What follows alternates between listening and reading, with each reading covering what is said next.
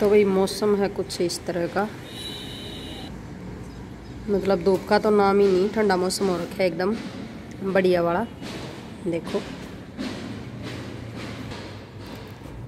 तो मौसम को देखते हुए मन कर गया हलवा खाने का। वैसे तो पकोड़े पकाड़े खाने का मन करे अगर पर इनका मन करे हलवा खाने का।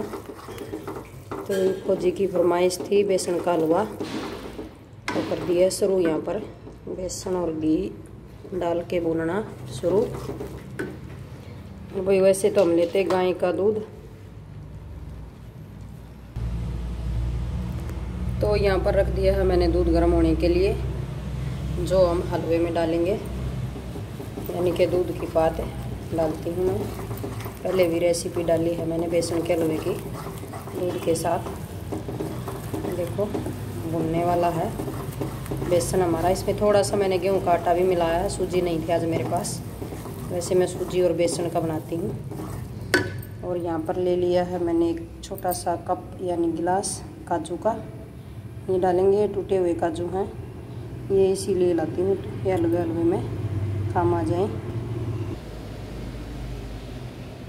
और आज बादाम भी ख़त्म है तो काजू ही काम आएगा। ये गिलास ही, छोटा गिलास लिया है, काजू का। तो यहाँ पर भाई दूध भी गर्म हो गया, अच्छे से उबल गया है। और भाई यहाँ पर हमारा बेसन भी तैयार हो गया, देखिए पूरा ब्राउन कलर हो गया है बुन के। अब इसमें डालेंगे पात दूध की।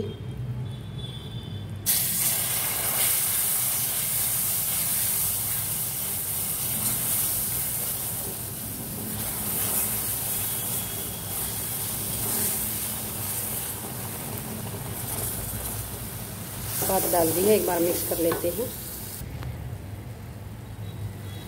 तो देखिए, पात डालने के बाद कुछ ऐसा हो गया है। अब इसमें डाल देंगे थोड़ी चीनी। मतलब जितनी भी हम मीठा चाहिए हमारे को। और इसको भी एक बार मिक्स कर लेती हूँ। तो वही अब डाल देंगे इसमें काजू।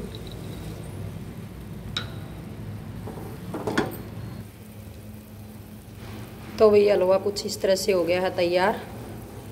अभी गैस को कर देते हैं बंद। तो वही मैंने डाल दिया है प्लेट में और लगा दी है चम्मच भी। एक आपके लिए है, आ जाइए आप भी। गर्मा गर्म हलवा और ठंडा ठंडा मौसम। तो देखिए वही सच में मैंने थोड़ा सा खा लिया है।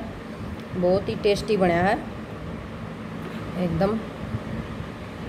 ये देखिए दूर से ही दिख रहा है। ये देखो।